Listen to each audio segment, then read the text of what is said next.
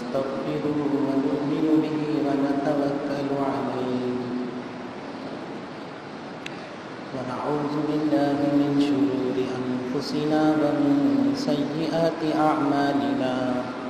من يهده الله فلا مضل له ومن يضلله فلا هادي له. ونشهد أن لا إله إلا الله وحده لا شريك له. ونشهد أن سيدنا وسندنا ونبينا ومولانا محمدا عبده ورسوله صلى الله تعالى عليه وعلى آله وأصحابه وبارك وبارك وسلم تسليما كثيرا كثيرا أما بعد فأعوذ بالله من الشيطان الرجيم. بسم الله الرحمن الرحيم. والذين يكنزون الذهب والفضة ولا ينفقونها في سبيل الله فبشرهم بعذاب أليم. يوم يحمى عليها في نار جهنم فتقوى بها جباههم فتقوى بها جباههم وجنوبهم وزهورهم. هذا ما كنستم لأنفسكم فذوقوا ما كنتم تكنزون آمنت بالله صدق الله ومولانا العظيم وصدق رسوله النبي الكريم. ونحن على ذلك من الشاهدين والشاكرين. والحمد لله رب العالمين. رب اشرح لي صدري ويسر لي أمري. واحلل عقدة من لساني يفقه قولي. رب اشرح لي صدري ويسر لي أمري واحلل عقدة من لساني يفقه قولي. رب اشرح لي صدري ويسر لي أمري واحلل عقدة من لساني يفقه قولي.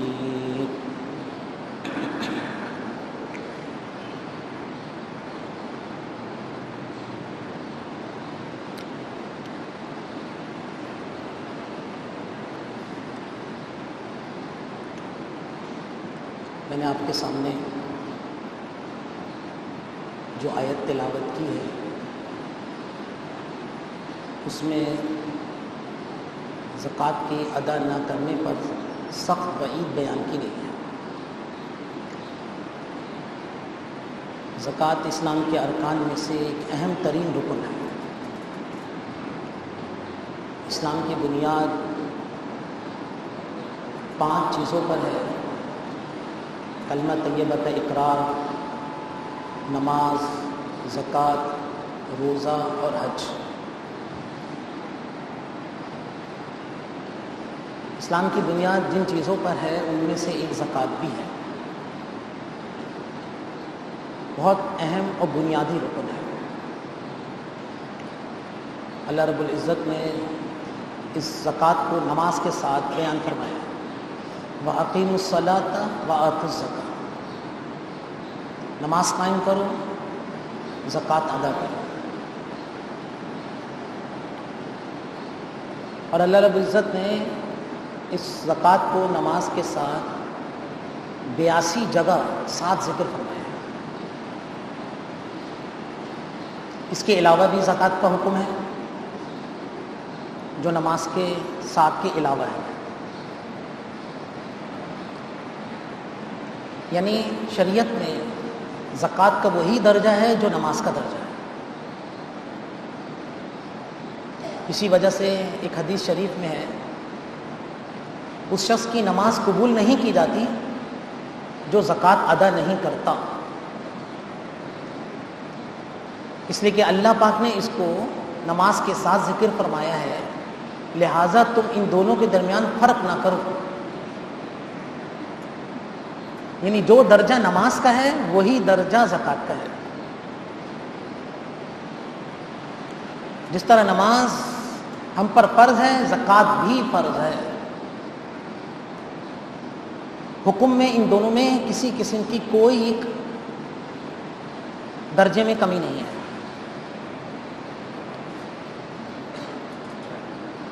زکوٰۃ اہم ترین اللہ کا حکم، عبادت ہے۔ نماز بدنی عبادت ہے اور زکوٰۃ مالی عبادت ہے۔ اور دونوں طرح کی عبادتیں مقصود ہیں، مطلوب ہیں۔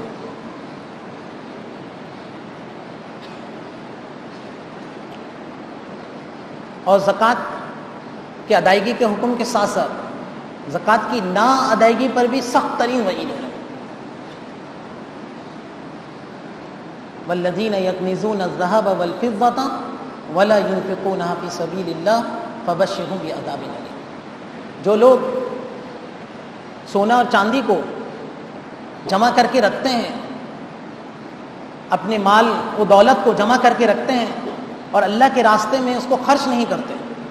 یعنی اللہ نے جن مواقع میں اس کو خرچ کرنے کا حکم دیا ہے کہ زکوٰۃ کو خرچ کرنے کا حکم دیا ہے، صدقہ فطر کی ادائیگی کا حکم دیا ہے، قربانی کی ادائیگی کا حکم دیا ہے، دیگر صدقات کا حکم دیا ہے، ان میں یہ خرچ نہیں کرتے، تو فبشر ہوں بھی عذاب علیم۔ ان کو دردناک عذاب کی خوشخبری سنا دیجیے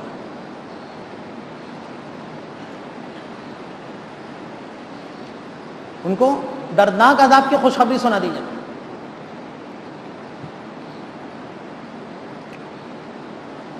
اور وہ دردناک عذاب کی تفصیل پھر آگے اللہ پاک نے بیان فرمائی، یوم یحما علیہ فی ناری جہنم، کہ جس دن ان کے مال و دولت کو آگ میں تپایا جائے گا۔ جس طرح جس طرح لوہے کو آگ میں اگر گرم کیا جائے تو وہ انگارہ بن جاتا ہے۔ اسی طرح اس کے مال و دولت کو، سونا چاندی کو آگ میں تپایا جائے گا، جس سے وہ انگارہ ہو جائے گا۔ پھر کیا کیا جائے گا؟ فتح و بحا جبا ہوں و جنوب ہوں و ظہور ہوں پھر اس سے اس کی پیشانی کو، اس کے پہلوؤں کو اور اس کے پشت کو داغا جائے گا۔ اور کہا جائے گا ہا ما کنس تم یہ وہی خزانہ ہے جس کو تم جمع کر کے رکھتے تھے۔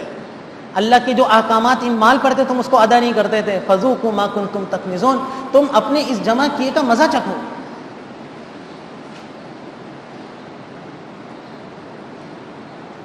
زکوٰۃ کی ادا نہ کرنے پر اتنی سخت وعید ہے کہ اس کو آگ میں تپا کر اس کو اس سے، آگ میں گرم کر کے اس سے اس کو تاپا جائے گا۔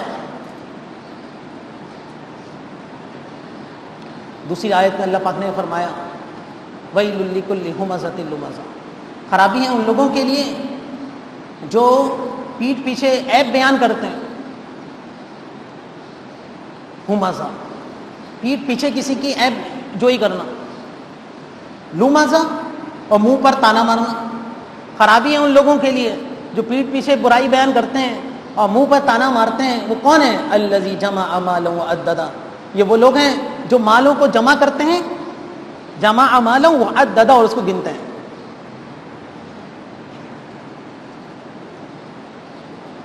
یا سب ان مالہ اقلدا اور وہ گمان کرتے ہیں کہ اس کا مال اس کو ہمیشہ کی زندگی ادا کر دے گا۔ یعنی وہ یہ مال سے ہی اپنا سب کچھ سمجھتے ہیں۔ ہماری ساری ضرورتیں مال سے ہی پوری ہوں گی۔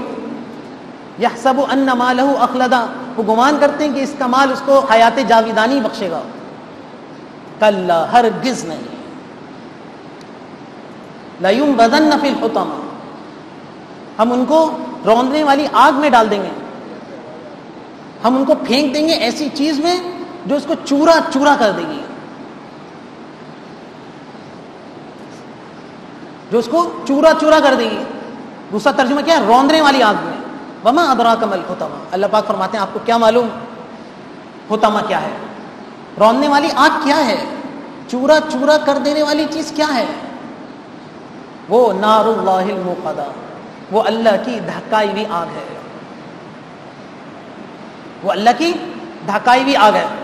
جو مالوں کو جمع کرتے ہیں اور ان مالوں پر جو اللہ کے احکامات ہیں، اس کو ادا نہیں کرتے۔ ہیں مثلا اس کی زکوٰۃ نہیں دیتے ہیں فطرہ ادا نہیں کرتے ہیں قربانی ادا نہیں کرتے ہیں تو وہ کیا ہوگا؟ وہ پھینک دیے جائیں گے ایسی آگ میں جس کو اللہ ماک نے تب کیا کیا ہے؟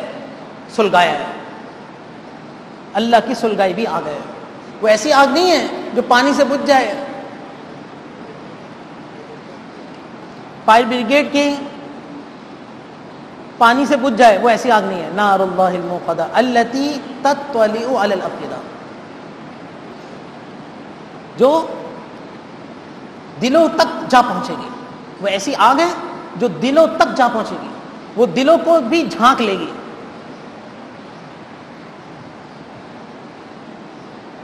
انہا علیہ مقصدہ۔ وہ اس آگ میں کیا کر دی جائیں گے؟ بند کر دی جائیں گے۔ فی عمد ممددہ۔ بڑے بڑے ستونوں میں وہ گھیر لیے جائیں گے۔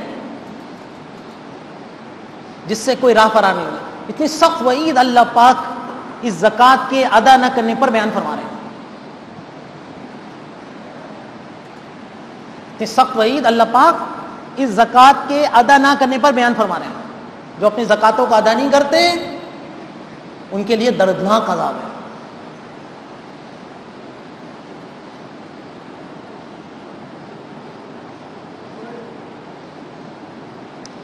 جس عذاب سے کوئی چھٹکارا نہیں ہوگا۔ اللہ۔ لہذا ہمیں زکوٰۃ کی اہمیت کو سمجھنا چاہیے۔ اللہ پاک یہ سوچنا چاہیے کہ اللہ پاک نے اتنی سخت بھائی کیوں بیان فرمائی ہے؟ اتنی سخت وہی کیوں بیان فرمائی ہے کہ ہم زکوٰۃ ادا نہ کرنے کی صورت میں جہنم کی آگ میں ڈالا جائے گا؟ تو آدمی سوچے کہ یہ جو کچھ مال ہے، یہ کس کا دیا ہوا ہے؟ اللہ پاک کا دیا ہوا ہے۔ یہ جو کچھ مال ہے، وہ کس کا دیا ہوا ہے؟ اللہ پاک کا دیا ہوا ہے۔ اگرچہ انسان تجارت کے ذریعے سے، ملازمت کے ذریعے سے یہ مال کماتا ہے، لیکن وہ در حقیقت اللہ پاک کی عطا کر رہا ہے۔ وہ یہ سمجھے کہ اللہ پاک نے مجھے دیا ہے۔ اللہ پاک کے ایک حکیمانہ نظام کے ذریعے سے مجھے ملا ہے۔ کسی کو کم ملا ہے، کسی کو زیادہ ملا ہے۔ اللہ پاک اپنی دیے ہوئے مال میں سے کہہ رہے ہیں کہ تم ڈھائی فیصد میرے نام لیواؤں کو بھی دے دو۔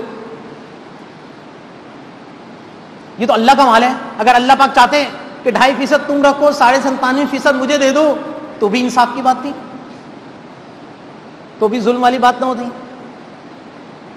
لیکن اللہ پاک اپنے ہی مال میں سے کہہ رہے ہیں کہ تم میرے بندوں کو دے دو، پھر نہ دے، تو یہ کتنی بے ادبی و گستاخی ہے۔ کتنی اللہ کی نافرمانی ہے کہ اللہ کے دے مال کو اپنا مال سمجھ کر زکات نہیں دیتا۔ اللہ کے مال کو تو اللہ کے احکام کے مطابق اس کو استعمال کرنا چاہیے تھا وہ اپنا سمجھ بیٹھا۔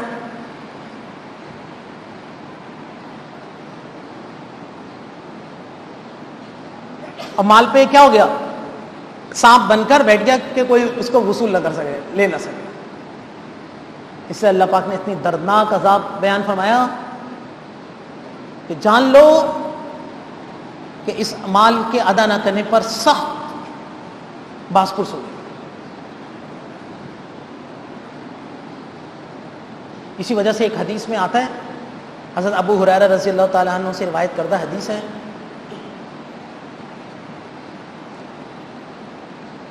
روایت کرتے ہیں کہ آپ صلی اللہ علیہ وسلم نے ارشاد فرمایا کہ کوئی بھی جنگل میں یا کسی بھی خشکی میں یا سمندر میں کوئی مال ضائع ہوتا ہے تو وہ اسی وجہ سے ضائع ہوتا ہے کہ اس کی زکوٰۃ ادا نہیں کی ہوئی ہوتی۔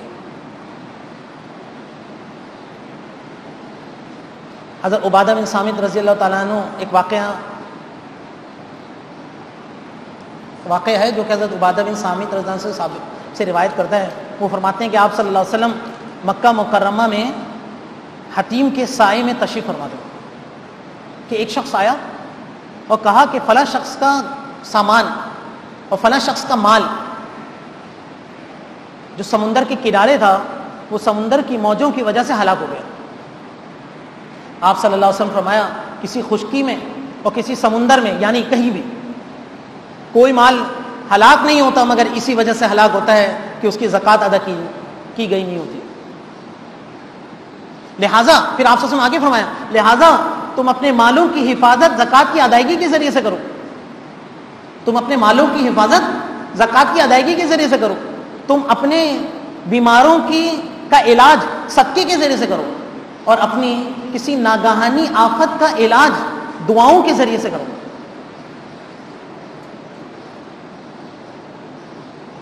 آپ صلی اللہ علیہ وسلم نے کسی کے مال کے ہلاک ہونے پہ کیا فرمایا؟ یقیناً اس نے زکات ادا نہیں کی تھی، تبھی اس کا مال ہلاک ہوا ہے۔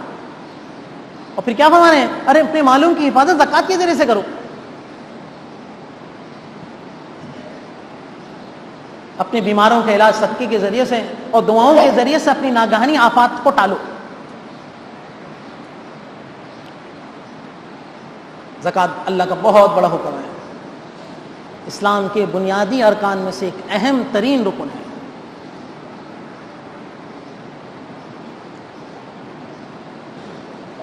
آدمی ویسے زکوٰۃ کے بہت زکوٰۃ کے دینے کے فوائد بھی بہت ہیں، لیکن آدمی زکوٰۃ سے اس وجہ سے نہیں دے کہ مجھے کچھ فائدہ مل جائے۔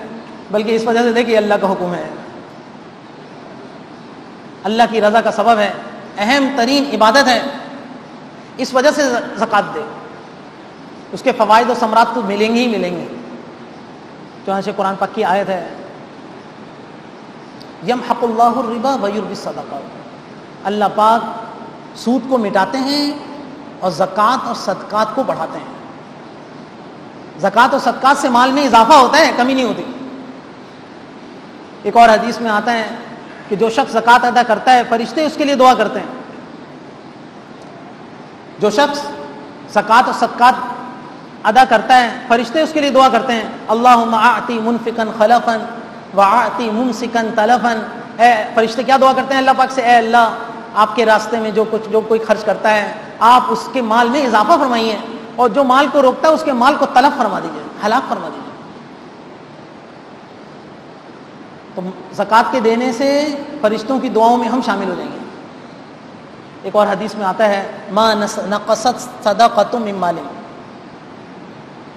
صدقہ مال میں کمی نہیں کرتا۔ صدقہ کے کرنے سے مال میں کمی نہیں ہوتی۔ آپ سرسم کا ارشاد حق اور سچ ہے۔ ہم تو گنتی کی دنیا میں ہیں۔ کسی کے پاس دس لاکھ روپے ہیں، پچیس ہزار روپے اس پر زکات ہے، وہ پچیس ہزار روپے زکات ادا کرتا ہے تو دیکھتا ہے کہ میرے مال میں تو پچیس ہزار روپے کی کمی آ گئی۔ حالانکہ حدیث میں کیا ہے؟ صدقے سے مال میں کمی نہیں ہوتی۔ ایسے مال میں برکت ہوتی ہے کہ ضرورت ہی پیش نہیں آتی۔ ایسے مال میں برکت ہوتی ہے کہ ضرورت ہی پیش نہیں آتی۔ آدمی ناگہانی آفت سے بچ جاتا ہے، وہ مال خرچ ہونے سے بچ جاتا ہے۔ برکت کی مفہوم تھوڑی ہے کہ دس لاکھ کی گیارہ لاکھ ہو جائے۔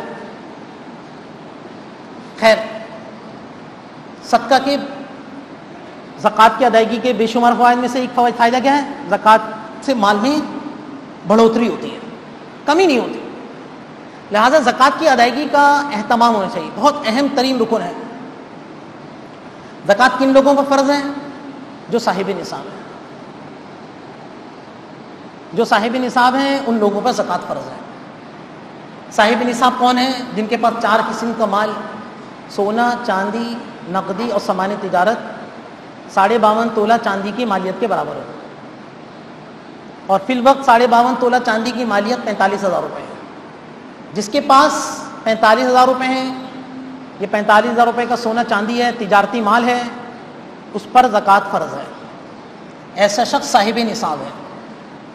اور جس کے پاس پانچ قسم کا مال نہیں ہے، سونا، چاندی، نقدی سامان تجارت اور ضرورت سے زائد سامان جس کی مالیت ساڑھے باون تولہ چاندی کی مالیت کے برابر ہو یعنی پینتالیس ہزار کے برابر، اگر اس کے پاس اتنا مال نہیں ہے تو وہ مستحق زکوٰۃ ہے۔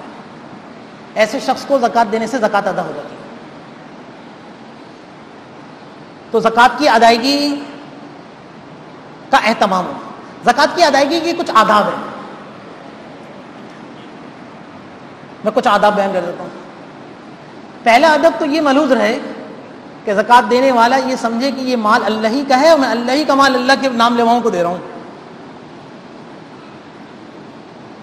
وہ اپنا مال نہ سمجھے۔ اللہ کا مال اللہ کے بندوں کو دینے دینے کی نیت سے ہو۔ اس کے دل میں اس کا استحظار ہو کہ میں اللہ کا مال اللہ کے بندوں کو دے رہا ہوں۔ اپنا مال نہیں دے رہا۔ اگرچہ اللہ پاک نے اس کو اس کو، اس کا مالک بنایا ہے، لیکن اس ادب کا تقاضا یہ ہے کہ وہ اللہ کا مال سمجھ کر اللہ کے نام لواؤں کو دے رہا دوسرا ادب یہ ہے کہ زکوٰۃ کی ادائیگی میں اجرت کرے۔ دوسرا ادب یہ ہے کہ زکوٰۃ کی ادائیگی میں اجرت کرے۔ اجرت کا مطلب کیا ہے؟ کہ جس مہینے میں زکوٰۃ واجب ہو رہی ہے، اس سے پہلے دینا افضل ہے۔ مثلا زکوٰۃ کی ادائیگی کا مہینہ اگر کسی کا رمضان کا مہینہ ہے، تو کوشش کرے کہ اسی وقت نہیں، اس سے پہلے دے دے۔ اس سے زیادہ موخر نہ کرے۔ بعض لوگ یہ اس لیے زکوٰۃ کی ادائیگی میں تاخیر کرتے ہیں کہ ہو سکتا ہے میرے پاس بعد میں کوئی مستحق زکات آ جائے تو اس وقت میرے پاس دینے کو نہ ہو تو لہٰذا میں اس وقت کے لیے پیسے روک رہا ہوں۔ ارے نہ روکیں۔ ابھی دے دیں۔ جب اس وقت آ جائے تو اگلے سال کی زکات اس کو دے دیں۔ پیشگی پیشگی زکات دینا افضل ہے۔ زکات کی ادائیگی میں تاجیل کیوں افضل ہے؟ اس لیے کہ یہ اللہ کے حکم کے پورا کرنے میں رغبت کا اظہار ہے۔ یعنی اللہ کے اس حکم کو بہت بخوشی و رغبت سے پورا کر رہا ہے۔ نیز، اس میں فقیروں کے لیے بھی مسرت کا سامان ہے۔ فقیروں کے لیے بھی جلد از جلد اس کی ضرورت پوری ہو رہی ہے۔ نیز، اس میں ایک فائدہ یہ بھی ہے کہ کہیں کسی بیماری اور آفت میں مبتلا ہونے سے بچنے، بچنا بھی ہے۔ کہ کسی بیماری میں یا آفات میں اس کا مال مبتلا نہ ہو جائے، اس سے بھی حفاظت ہے، اجرت جلدی دینے میں۔ ایک ادب، دوسرا ادب تو یہ ہے۔ تیسرا ادب یہ ہے کہ زکوٰۃ مخفی طور پہ دے۔ مخفی طور پہ دینے میں اظہار شہرت سے امن ہے۔ ریاکاری سے امن ہے۔ اور دینے والوں کی بھی پردہ پوشی ہے۔ جس کو دیا جا رہا ہے، اس کے لیے بھی پردہ پوشی ہے۔ ریاکاری مقصود نہ ہو زکات دینے میں کہ جو شخص دوسروں کو دکھلانے کے لیے اپنا مال خرچ کرے گا، تو اللہ پاک اس کو قیامت کے دن بلائیں گے اور کہا کہیں گے کہ تم نے تو دنیا میں اس لیے دیا تھا کہ لوگ تمہیں سخی کہیں، وہ تمہیں کہا جا چکا اور اس کو جہنم میں ڈال دیا جائے گا۔ ریاکاری مقصود نہ ہو۔ بلکہ مخفی طور پہ دے۔ چوتھا ادب یہ ہے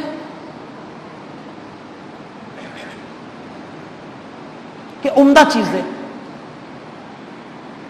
کیونکہ اللہ پاک طیب ہیں، اللہ پاک ہر قسم کے نقص سے پاک ہیں اور طیب مال کو قبول فرماتے ہیں۔ کیونکہ اللہ کا مال ہم اللہ کو دے رہے ہیں۔ کتنی عجیب بات ہے کہ ہم اللہ پاک کو تو گھٹیا مال دیں اور اپنے پاس اچھا مال رکھ لیں۔ اس کو علماء نے دوسرے زاوی سے اس طرح بیان کیا ہے کہ جو کچھ مال اللہ کے راستے میں آدمی خرچ کرتا ہے، اصل مال وہی ہے۔ اور جو کچھ چھوڑ جاتا ہے وہ تو وارثوں کا ہے۔ تو یہ کتنی بیوقوفی کی بات ہے کہ اپنے لیے گھٹیا مال آگے بھیج دے اور اچھا مال وارثوں کے لیے چھوڑ دے۔ ارے، مال کے دینے میں عمدہ مال زکات میں دے۔ اچھا اور اپنی اس زکات کو من اور ازا سے بچائے۔ من اور ازا سے حفاظت کرے۔ کیا مطلب؟ من کے معنی احسان جتانے کے ہیں۔ یہ نہیں کہ اپنے زکات کے زکات دیتے وقت کسی فقیر پر اپنے احسان جتائے۔ احسان جتانے سے اس کے، اس کا عمل کیا ہو جائے گا؟ غارت ہو جائے گا۔ اور ازا کے معنی تکلیف دینے کے یہ نہ سمجھے کہ میں نے جس کو زکات دی ہے، اس کے اس کی ضروریات تو میرے سے وابستہ ہیں۔ اس گھمنڈ سے اس اس کو اذیت دے۔ اس اذیت دینے سے بھی اس کی زکات کا ثواب اس کا کیا ہو جائے گا؟ ختم ہو جائے گا۔ تو اپنی اس ادب، ایک ادب یہ ہے کہ اپنی اس زکوٰۃ کی ادائیگی میں من اور ازا سے اپنی حفاظت کرے ایک ادب یہ ہے کہ زکوٰۃ کو ایسے مصرف میں خرچ کرے جس میں ثواب زیادہ ہو۔ زکوٰۃ کو ایسے مواقع میں خرچ کرے جہاں ثواب زیادہ ہو۔ مثلا سب سے پہلے دیکھیں کہ اپنے رشتے داروں میں کون غریب ہے، کون مستحق ہے؟ تو رشتے داروں کو زکوٰۃ دینے میں دوہرا ثواب ہے۔ ایک تو زکوٰۃ کی ادائیگی کا ثواب ہے، دوسرا سیلا رحمی کا ثواب ہے کرابت داری کا ثواب ہے۔ اور دوسرا یہ دیکھیں، علماء نے لکھا ہے کچھ صفات ایسی ہیں کہ ان صفات کو ملحوظ رکھ کے دینے میں ثواب زیادہ ہے؟ ان میں سے ایک صفت یہ ہے کہ جس کو دے رہا ہے وہ دیکھے کہ وہ متقی ہو۔ اہل تقوی میں سے ہو، دنیا سے بے رغبت ہو، آخرت کی فکر میں مشغول ہو۔ کیونکہ حدیث میں آتا ہے، ارے تیرا کھانا متقیوں کے سوا کوئی نہ کھائے۔ تو اپنی زکات بھی متقیوں کو دیں۔ تیرا کھانا متقیوں کے سوا کوئی نہ کھائے۔ اور دوسری صفت یہ دیکھیں، علماء نے لکھا کہ وہ اگر وہ اہل علم میں سے ہو تو کیا ہی اچھی بات ہے۔ اہل علم میں سے ہو۔ کیونکہ علم سے بڑھ کر دین میں کسی میں شرافت نہیں ہے۔ اور اس علم کے اہل علم کو دینے میں فائدہ کیا ہے؟ ایک تو اس کے علم کے حصول میں اس کی مدد کرنا ہے۔ دوسرے دین کی اشاعت میں میں حصہ لینا ہے۔ اس نیت سے دے تاکہ کیا کہتے ہیں علم کا اس کے حصول میں آسانی ہو یعنی وہ علم کے حصول میں معین بنے گا اور اس کے اس نیک عمل میں خود شریک ہوگا۔ حضرت عبداللہ ابن مبارک رحیم اللہ مشہور محدث ہیں۔ وہ اپنی عطائیں اہل علم کے ساتھ خاص رکھتے تھے۔ کسی نے کہا کہ آپ غیر اہل علم کو بھی دے دیا کریں۔ انہوں نے فرمایا کہ نبوت کے بعد علم کے درجے سے بڑھ کر کوئی درجہ نہیں ہے۔ لہذا میں اپنے آتاؤں کو اہل علم کے ساتھ خاص رکھتا ہوں۔ تو زکوٰۃ وہاں دے جہاں ثواب زیادہ ہو۔ تو وہ ان میں سے ایک ایک راستہ وہ یہ ہے کہ ایسی جگہ زکوٰۃ دے جہاں علم کی ترویج کا سامان ہو۔ علم کی اشاعت کا کا انتظام ہو۔ ہمارے زمانے میں مدارس ہیں۔ مدارس نے یہ بیڑا اٹھایا ہوا ہے۔ دل فقرا الدین صرفی سبیل اللہ لا يستطيعون ضربا في الارض يحسبهم الجاهل اغنياء من التعفف تعرفهم بسيماهم لا يسالون الناس الحافا وما تنفقوا من خير فان الله به عليم ارے وہ فقراء جو اللہ کے راستے کے لیے مقید ہو گئے ہیں۔ فقاہ علماء نے لکھا ہے کہ اس سے مراد اصحاب صفہ ہیں۔ جو آپ صلی اللہ علیہ وسلم کی چوکھٹ میں چوبیس گھنٹے پڑے رہتے تھے۔ ان لوگوں کے ان لوگوں میں خرچ کرنا یہ بہترین صدقہ ہے۔ اللہ پاک کو خوب معلوم ہے جو تم ان میں خرچ کرتے ہو۔ تو یہ مدارس بھی زکوٰۃ کے مصارف میں سے بہترین مصرف ہے۔ کہ جس طرح اگر کوئی غریب فقی رشتے دار ہوں، ان کی ان کی غربت کی وجہ سے ان کو زکوٰۃ دینا جائز ہے۔ تو مدارس کے وہ طلبہ جو کہ صاحب نصاب نہیں ہے، ان کو بھی دینے سے زکوٰۃ ادا ہوتی ہے۔ اور ان کو زکوٰۃ کے دینے میں دوہرا ثواب ہے۔ صحیح مصرف میں ادا کرنا ہے۔ زکوٰۃ کی ادائیگی میں ایک اہم حکم یہ ہے کہ ایسی جگہ ادا کریں ایک تو زکوٰۃ ادا ہو، مصرف صحیح ہو، ثواب میں بھی اضافہ ہو۔ ہمارے مدارس کیا کہتے ہیں؟ اس سلسلے میں بہترین انتخاب ہے۔ یہ چند گزارشات تھی زکوٰۃ سے متعلق۔ کیونکہ رمضان سے پہلے لوگ رمضان میں عمومی طور پر زکوٰۃ کی ادائیگی کا اہتمام ہوتا ہے۔